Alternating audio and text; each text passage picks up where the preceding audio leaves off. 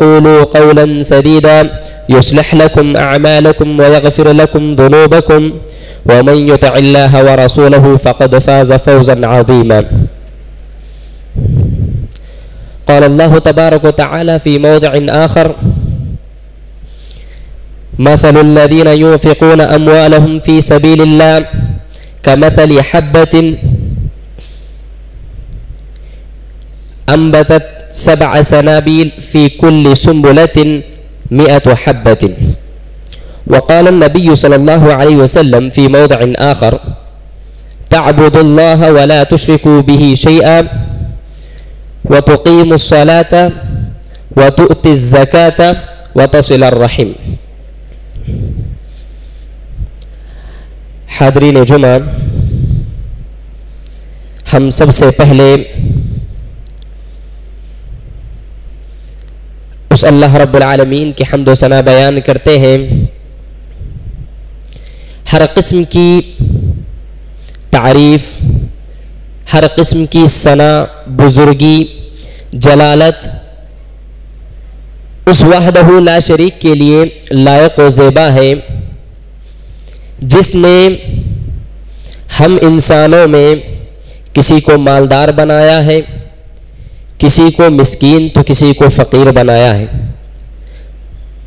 सुबहान अल्लाह सुबहान अल्लाज़ीम सुबहान अल्लाह सुबहान अल्लाज़ीम सुबहान अल्लाह सुबहान अल्लाज़ीम बाद इसके तमाम अम्बिया कराम अलैहिस्सलाम पर दुरुद सलाम हो खसूस मेरे और आपके प्यारे नबी शाफी महशर साकी कौसर सैदुलमरसलिन सैदुलम्बिया जनाब मोहम्मद बिन अब्दुल्ला सल्लल्लाहु अलैहि वसल्लम पर। जुमा, जैसा कि आप तमाम इस बात से बखूबी वाकिफ़ हैं कि हम जिस माह में दाखिल हुए हैं या फिर जिस माह से गुज़र रहे हैं, वो माह माह रमज़ान है। और इस माह की फजीलत सब पर आश्कार है। किसी से मख्फी नहीं है। ये माह यकीनन बहुत ही मुबारक माह है। इस माह में अल्लाह रब्बुल आलमीन ने जन्नतों के दरवाज़ों को खोल दिया, जहन्नम के दरवाज़ों को अल्लाह ने बंद कर दिया, शैतानों को जकड़ दिया। यकीनन इस माह मुबारक की बहुत सारी मुबारकबादियाँ हैं और बहुत सारी अजमतें, फजीलतें आई हैं। और ये माह माह कुरान भी माना जाता है। ये माह जहाँ पर माह कुरान है, जहाँ पर माह इबादत कहा जाता है, वहीं पर इस माह को माह सदक़ात भी कहा जाता है। इस माह में सदक़ा व खैरात खूब किया करते थे। अल्लाह के नबी करीम सल्लल्लाहु अलैहि वसल्लम के बारे में आता है कि अल्लाह के नबी सल्लल्लाहु अलैहि वसल्लम रमज़ानुल मुबारक के माह में सदक़ा व खैरात करने में इस कदर हशाश बशाश हो जाते कि अल्लाह के अल्लाह के नबी सल्लल्लाहु अलैहि वसल्लम के बारे में सहाबा कराम ने मिसाल देकर कही कि हवा से कहीं ज़्यादा तेज़ हो जाते आप सदका व खैरात करने में। इतने ज़्यादा अजवद हो जाते, इस कदर सकावत करने वाले बन जाते। यही नहीं, बल्कि हमारे असलाफ की ज़िंदगियों को हम देखते हैं। अपने असलाफ की ज़िंदगियों को हम पढ़ते हैं तो उससे भी ये बात मालूम होती है कि हमारे असलाफ भी इस माह में खूब सदका खैरात किया करते थे। बल्कि अब्दुल्ला बिन उमर रदी अल्लाह रमज़ान मुबारक में इतना सदका करते, इतना सदका करते, अपने घर में जो कुछ है वो गरीबों और मिस्किनों में बांट देते। हती कि अपने लिए, जो इफ्तियार के लिए उन्होंने जो सामान रखा था, वो सामान भी अगर कोई मंगने आता तो उसे दे देते और ख़ुद किसी रिश्तेदार के पास जाकर इफ्तियार करते। ये हमारे असलाफ की कुर्ब, ये हमारे असलाफ के सदका व खैरात थे।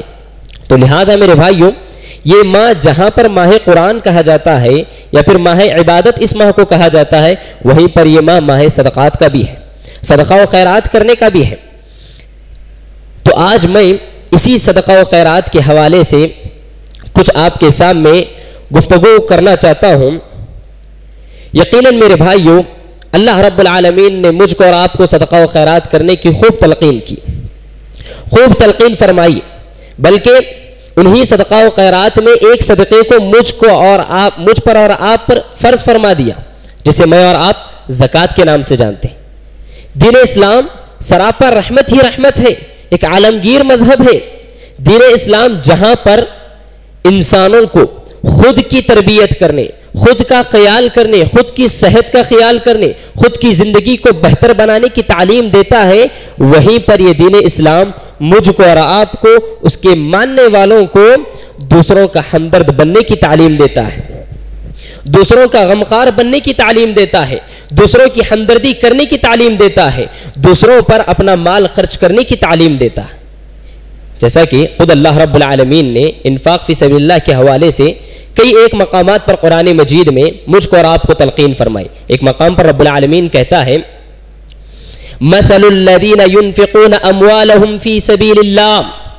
कि जो लोग अल्लाह की राह में खर्च करते हैं, अल्लाह रबालमीन की राह में सदका खैरात करते हैं, उनकी मिसाल का हब्बतिन अम्बतत सब सनाबिल।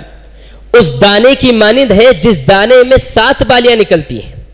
जिस दाने में सात बालियाँ निकलती हैं, फ़ी कुल्ली फ़ी कुल्ली फ़ी कुल्ली सुम्बुलतिन मिअत हब्बतिन। और हर दाने में, और हर बाली में सौ दाने निकलते हैं।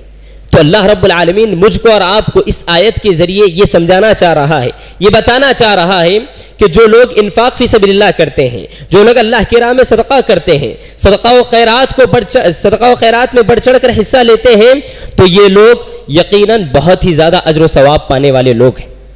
बल्कि अल्लाह ताला उसकी तादाद बताते हुए कहा, मियत हब्बतिन, सौ दानों के बराबर उन्हें अजर मिलेगा। अगर एक रुपया हम खर्च करते हैं, एक पैसा अगर हम खर्च करते हैं तो अल्लाह ताला उसका सात सौ गुना हमें बढ़ चढ़ कर सवाब अता सवाब अता करेगा।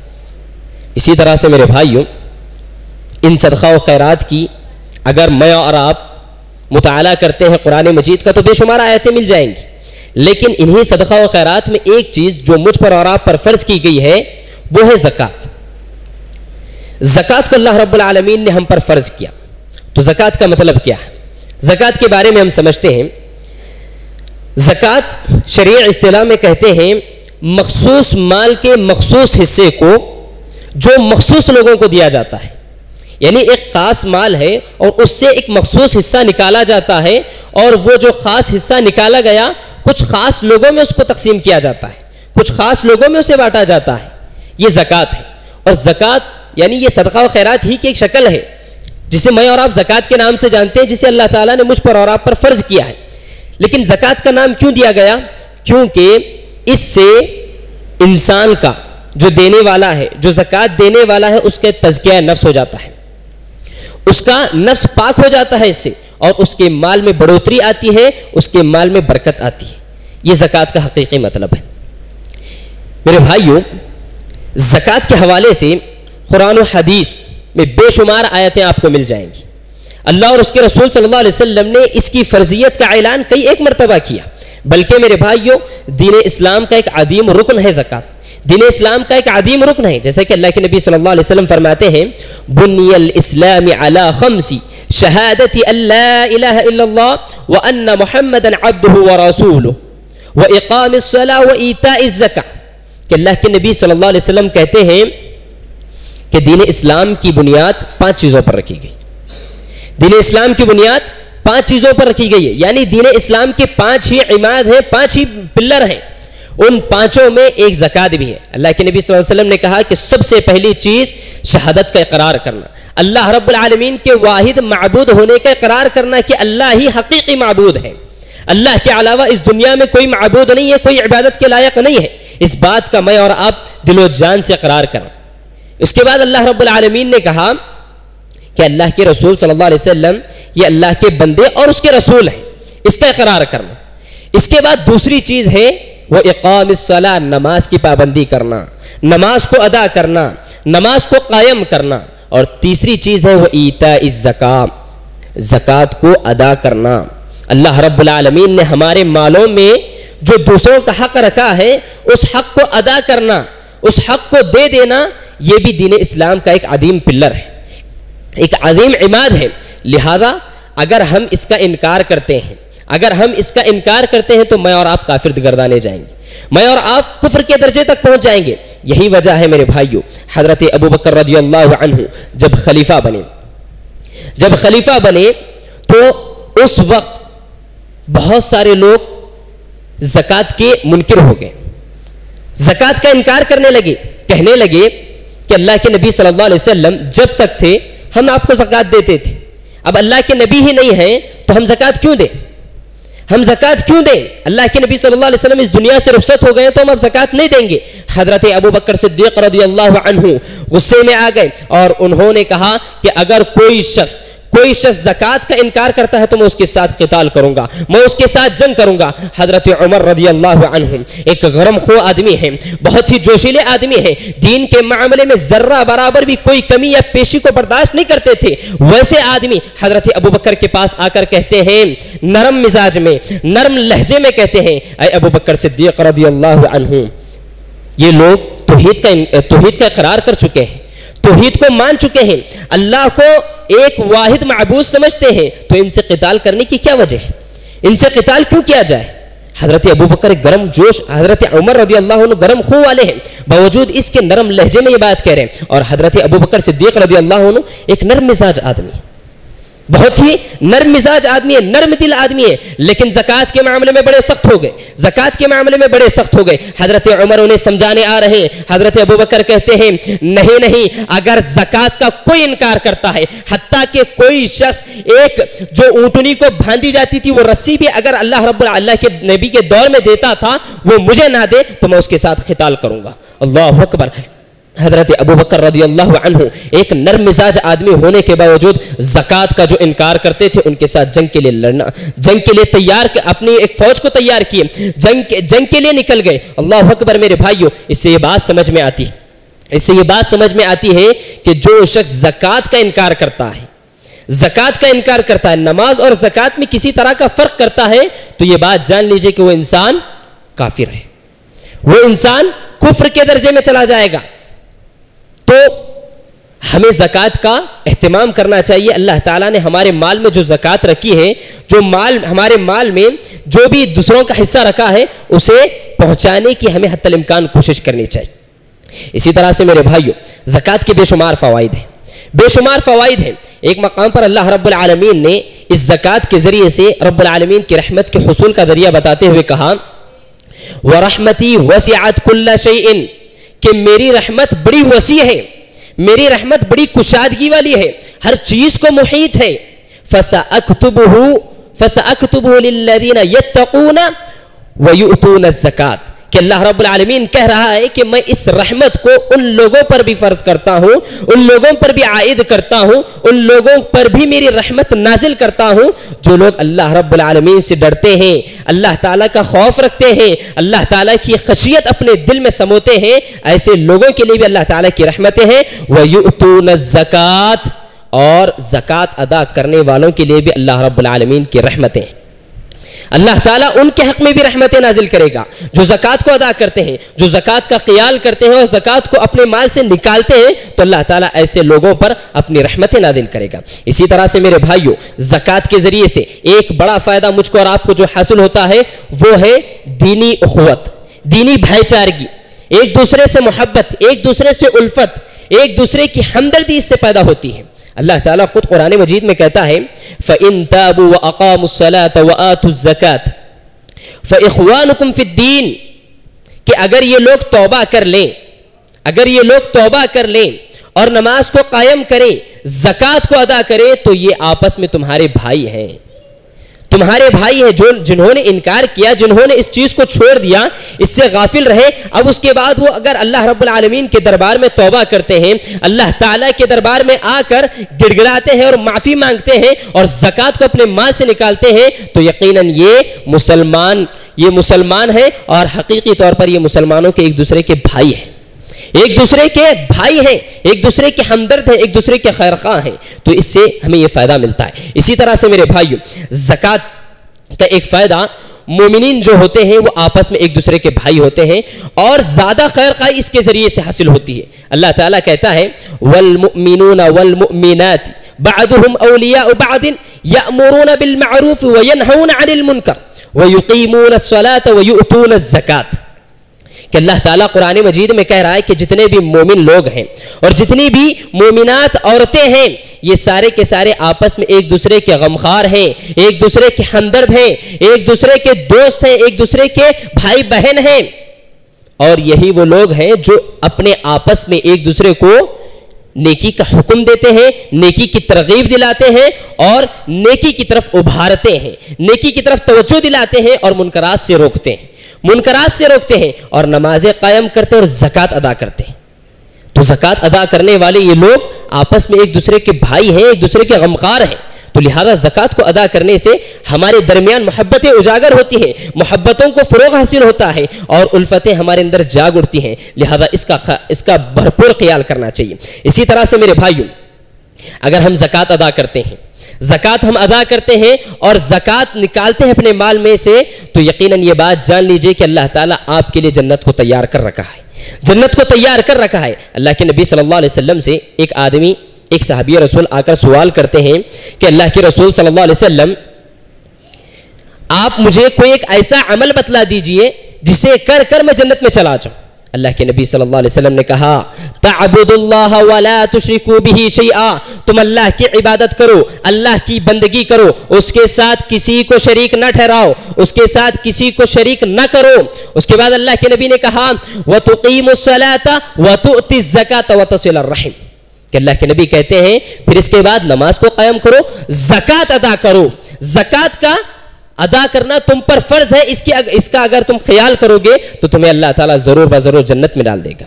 अल्लाह ताला तुम्हें जन्नत में डाल देगा। इसी तरह से सुर मोमिन की इब्तदाई आयत सुर मोमिन की इब्तदाई दस आयतों का आप मुताल कीजिए। आपको मालूम होगा उसके अंदर अल्लाह ताला ने मोमिनों के फलाह बहबूदी के कुछ सिफात बतलाए हैं। कुछ औसाफ अल्लाह ताला ने उसके अंदर गिनाए हैं। उनमें एक चीज़ जक़ात भी है। वल्लदीन हम फ़ाइलून। वो लोग भी उसके अंदर दाखिल हैं। वो लोग भी कामयाब होने वाले हैं जो अल्लाह रब्बुल आलमीन की राह में जक़ात निकालते हैं। अपने माल का जो जक़ात निकालने का हक है, वो निकाल कर अदा करते हैं। तो ये लोग भी उन फलाह बहबूदी में शुमार होने वाले लोग हैं। बल्कि मेरे भाइयों, सिर्फ़ कामयाबी नहीं है। कामयाबी के साथ अल्लाह रब्बुल आलमीन ने वहाँ पर जन्नतुल फिरदौस के वारिस बनाने की गारंटी दी है। इसका वादा अल्लाह ताला ने किया है। जो जक़ात को अदा करते हैं, वो जन्नतुल फिरदौस के अंदर दाखिल होंगे। जन्नतुल फिरदौस के वारिस बनेंगे तो लिहाजा जक़ात के बेशुमार फ़वाद हैं। बेशुमार फ़वाद हैं। ज़क़़त अगर हम अदा करते हैं तो अल्लाह ताला मुझको और आपको बहुत सारे समराज से, बहुत सारे समराज से माला माल फरमाएगा। बहुत सारे अल्लाह रब्बुल आलमीन मुझको और आपको नफ़ा अता करेगा। अल्लाह ताला मुझे और आपको बहुत सारे फ़ायदे अता करेगा। लेकिन अफसोस लेकिन अफसोस होता है। आज कई एक मुसलमान, कई एक हमारे मुसलमान भाई जक़ात के मामले में बड़े, बड़ी कोताही करते हैं। कोताही करते हैं, बल्कि ये सोचते हैं कि अगर मैं अपने माल से जक़ात निकालूँगा तो कहीं गरीब ना हो जाऊँ, कहीं फ़कीर ना हो जाऊँ। अपनी फकीरी का डर रखते हैं, गरीबी का डर रखते हैं। अरे नादानो, अल्लाह ताला ने आपको अता किया है माल और उसी माल में से कुछ हिस्सा अल्लाह ताला अपने भाइयों के दरमियान तकसीम करने की बात कर रहा है और तुम उसमें गरीबी और फकीरी का डर महसूस कर रहे हो। याद रखो, अगर हम जक़ात अदा नहीं करेंगे, जक़ात अपने माल से नहीं निकालेंगे तो अल्लाह ताला मुझको और आपको बड़ी वईदों से नवा देगा। अल्लाह ताला मुझको और आपको बड़े सजा से दो चार कर देगा। मैं और आप अल्लाह रब्बुल आलमीन के अजाब के अजाब में मुब्तला हो जाएँगे। अल्लाह रब्बुल आलमीन कुरान मजीद में कहता है, अल्लदीन अद्दहब वल वला युनफिकूनहा फ़ी सबीलिल्लाह, फबश्शिरहुम बिअज़ाबिन अलीम.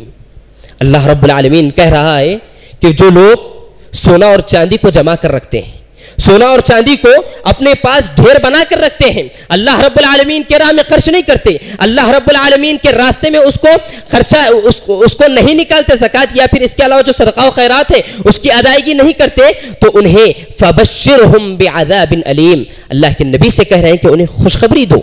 उन्हें खुशखबरी दो। किस चीज़ की खुशखबरी? बिन अलीम।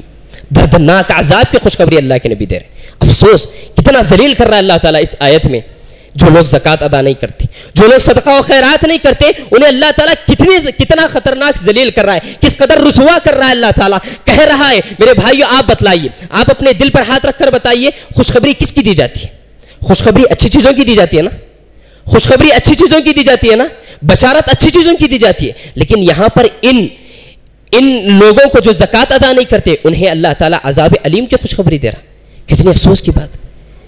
कितनी अफसोस की बात है। फबशर हम आदाबिन अलीम उन्हें आदाब अलीम की खुशखबरी सुना दो अल्लाह अकबर मेरे भाइयों यहीं पर अल्लाह ताला ने बस नहीं किया उसके बाद अल्लाह ने कहा योम युहमा अलैहा नार जहन्नम और उसको जो लोग जमा कर रखे हैं सोना और चांदी को उसे अल्लाह ताला कल क़ियामत के दिन जहन्नम की आग में तपाएगा जहन्नम की आग में जलाएगा उसके बाद अल्लाह ताला फतुकुवा जिबाउहुम व जुनूबुहुम व ज़ुहूरुहुम अल्लाह रब्बुल आलमीन उसे जलाकर उसे गरम कर कर उनके पीठों पर दागेगा, उनके पहलुओं पर दागेगा और उनकी पेशनियों पर दागेगा।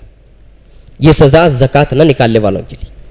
यह सजा जक़ात ना निकालने वालों के लिए। यही नहीं मेरे भाइयों, बल्कि अल्लाह के नबी करीम सल्लल्लाहु अलैहि वसल्लम ने जक़ात अदा न करने वालों के हवाले से कहा कि जो शख्स अपने माल की जक़ात अदा नहीं करता, अपने माल से जक़ात नहीं निकालता तो ऐसे शख्स के लिए ऐसे शख्स के लिए कल क़यामत के दिन ये माल जो इसने इस दुनिया में जमा कर रखा है, इस दुनिया में इकट्ठा कर रखा है, ये कल क़यामत के दिन उसके लिए एक अजदहा बनकर, एक गंजा सांप बनकर उसके गले का तौक उसके उसके गले का तौक बन जाएगा। उसके गले का तौक बन जाएगा, यानी उसके गले में उसको लपेट दिया जाएगा। और यही नहीं, बल्कि वो सांप हमें इस कदर ढसेगा कि हम खुद उसके उसके जहर से कई एक मरतबा मर जाएँगे। तो लिहाजा मेरे भाइयों जक़ात ना निकालने के बड़े संगीन और ख़तरनाक नतज हैं। लिहाजा इसका एहतियात इस, इस मामले में एहतियात करते हुए ज़क़़त के अदायगी का हमेशा हमें हमातन गोश होकर सोचना चाहिए और जो ज़क़़त अल्लाह ताला ने हम पर फ़र्ज़ की है उस ज़क़़त की अदायगी करने की हर मुमकिन कोशिश करनी चाहिए। मैं आपके सामने ज़क़़त के एक दो तीन मसाइल गिनाकर अपनी बात को ख़त्म करता हूँ। सबसे पहली चीज़ ये कि ज़क़़त किन चीज़ों पर दी जाएगी? ज़क़़त किन चीज़ों पर अल्लाह ताला ने फ़र्ज़ की है? वो छः चीज़ें हैं। सबसे पहली चीज़, सोना, चांदी और अपना, अपनी जो करेंसी होती है, जो रकम होती है, जो नोट की शक्ल में हमारे पास, कागजात की शक्ल में जो रकम होती है, उसमें जक़ात अदा करना है। और चौथी चीज़, मवेशी यानी जानवरों में जक़ात अदा करना है और ख़जाना। और इसी तरह से छठी चीज़ है ज़राती चीज़ों में। यानी खेती बाड़ी में जो चीज़ हम उगाते हैं, उन चीज़ों में जक़ात अदा करना है। अब सवाल यह पैदा होता है कि इन सारी चीज़ों में जक़ात कितनी अदा करना है? सोने में अल्लाह रब्बुल आलमीन ने मुतन किया है कि अगर किसी के पास पचासी ग्राम सोना है 85 ग्राम 80 पर 5 ग्राम अगर किसी के पास सोना है तो वो शख्स अपनी जक़ात निकालेगा ढाई परसेंट। ढाई परसेंट अपनी जक़ात निकालेगा।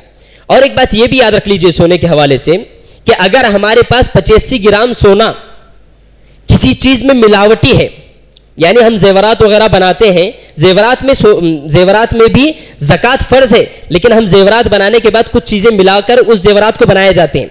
अगर खालिश सोना आपके पास पचासी ग्राम है तो आप उसी वक्त जक़ात निकालेंगे। उसी वक्त आप ढाई परसेंट अल्लाह रब्बुल आलमीन की राह में ज़क़़त देंगे। अगर पचासी ग्राम से एक परसेंट या फिर एक भी कम है तो आप आप पर ज़क़़त फ़र्ज़ नहीं है। तो ये सोने का मसला होगा। और चांदी का मसला चांदी का मसला है कि पाँच ग्राम पाँच ग्राम अगर आपके पास चांदी है तो आप उस चांदी में से ढाई परसेंट अल्लाह के की राह में जक़ात निकालेंगे।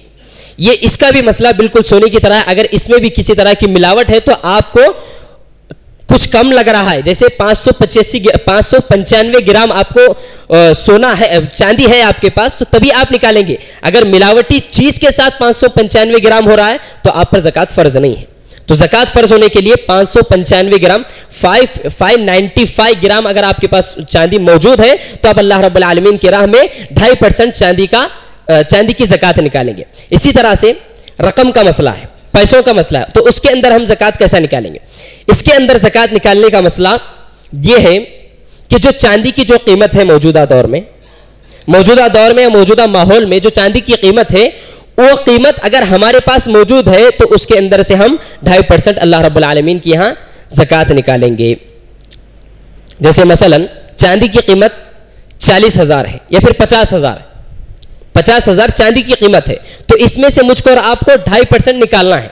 तो अब ये पचास हज़ार हमारे पास नगद पैसे हैं। चांदी नहीं है हमारे पास, लेकिन पाँच पचास हज़ार हमारे पास नगद पैसे हैं और पचास पचास हज़ार की पाँच सौ पंचानवे ग्राम हमें चांदी मिल सकती है बाहर मार्केट में तो उस पर आपकी जक़ात फ़र्ज़ है।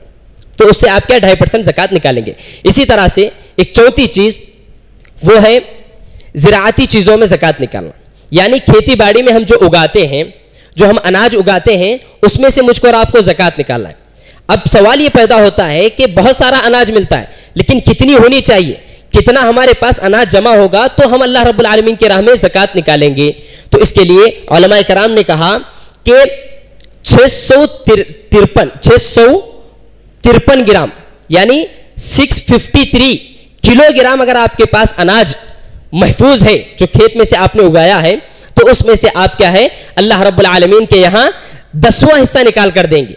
इसकी दो शक्लें हैं सबसे पहली चीज़, ये समझ लीजिए, कि अगर हमारे पास छह सौ तिरपन ग्राम, तिरपन किलोग्राम अनाज हमारे पास गल्ला मौजूद है तो इसमें से हम क्या है, अल्लाह रब्बुल आलमीन के यहाँ जक़ात निकालना है। तो वो कैसे निकालेंगे? अल्लाह के नबी सल्लल्लाहु अलैहि वसल्लम ने कहा कि अगर ये जो अनाज आपको अल्लाह रब्बुल आलमीन के कुदरत के ज़रिए से उगा है। जैसे मसलन बारिश हुई या फिर ज़मीन का कोई पानी आपको निकल कर आया और इसके ज़रिए से क्या है, वो अनाज उग गया। आपको ज़्यादा मेहनत करने की ज़रूरत नहीं पड़ी तो उस वक्त आप क्या करेंगे, उस वक्त दसवां हिस्सा अल्लाह रब्बुल आलमीन के यहाँ जक़ात निकालेंगे।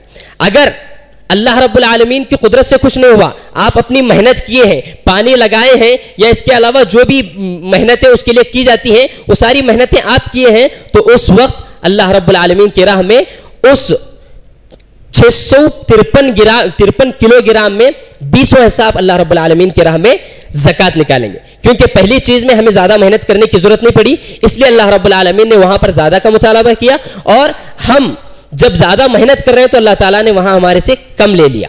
तो लिहाजा इसका ख्याल करना चाहिए। इसके अलावा एक पांचवी चीज़ है, मवेशियात, यानी जानवरों में जक़ात निकालना। जानवरों में जक़ात निकालने का मसला है, अगर हमारे पास ऊँट है या बकरी है ऊँट इसका मोनस यानी ऊँट है ऊंटनी है, बकरा है, बकरी है, बैल है और गाय है। इसके अलावा भेड़ है, भेड़िया है। तो इन सारी चीज़ों में जक़ात है। तो ऊँट में कितनी जक़ात है? अगर ऊँट हमारे पास पाँच है तो एक बकरी निकालेंगे। इसी तरह से अगर पाँच से जायद हो गए तो दो बकरी। और इसी तरह से दस से जायद हो गए तो तीन बकरी निकालेंगे। और पंद्रह से जायद हो गए तो चार। तो इस तरह से पच्चीस से जायद हो गए तो पाँच बकरी। इसी तरह से जैसे जैसे पाँच आगे बढ़ते जाएँगे एक एक बकरी का इजाफा करते जाएँगे। इसके अलावा, बैल में, बैल अगर हमारे पास चालीस है तो उसमें से एक बैल अल्लाह रब्बुल आलमीन के राह में जक़ात निकालना है। तो बैल अगर चालीस है तो एक बैल अल्लाह रब्बुल आलमीन की राह में जक़ात निकालना है। इसके अलावा बकरी बकरी भी अगर हमारे पास चालीस है, और उसके बाद 80 तक पहुँचते हैं 40 से लेकर 80 तक एक बकरी निकालना है। 80 से लेकर 200 तक दो बकरी निकालना है। अल्लाह रब्बुल आलमीन के। इसके अलावा 200 से लेकर जब भी आपके पास इसके आगे बढ़ते जाएँगे तो एक बकरी का इजाफा करते रहना। तो ये बकरी का होगा। इसके अलावा भेड़ बकरे का भी इसी तरह से मसला है बिल्कुल।